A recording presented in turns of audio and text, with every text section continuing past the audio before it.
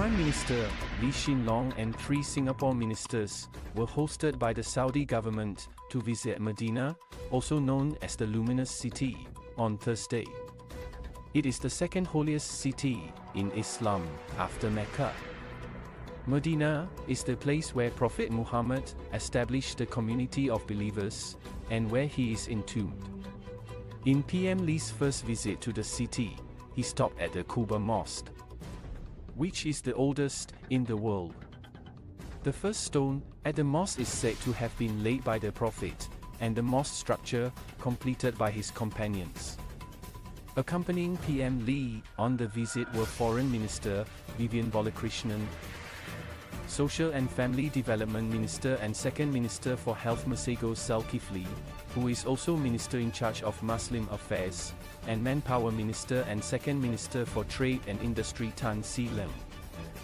The delegation also visited the city of Al Ula, which was part of historic trade routes and which the Saudi authorities are developing as a cultural tourism destination. PM Lee who is on an official visit to Saudi Arabia from Tuesday to Friday, also attended a reception in Riyadh for around 100 overseas Singaporeans working and studying in the country. On Wednesday, PM Lee called on and was hosted to lunch by Saudi Arabia's Crown Prince Mohammed bin Salman. They agreed to step up relations between the two countries in areas such as trade and investment, green energy, and the digital economy. The Singapore delegation also attended a briefing on Vision 2030 organized by Saudi Arabia's Strategic Management Office. PM Lee noted that there are opportunities for Singapore to contribute, both from the private sector and also at the government to government level, said a spokesperson for the Prime Minister's office.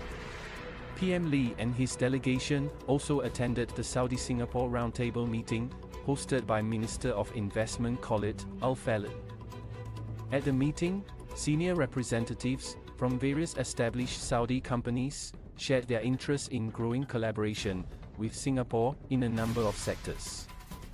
These include agriculture, digital economy and innovation, financial services, energy and petrochemical, as well as transport and logistics. PM Lee welcomed Saudi companies to use Singapore as a gateway to explore business opportunities in Asia. The spokesperson added. On Friday, PM Lee will participate in the inaugural ASEAN Gulf Cooperation Council Summit, where leaders from the two regional groupings will discuss topics including energy, food and security. The ongoing crisis in the Middle East is also likely to be raised at the meeting.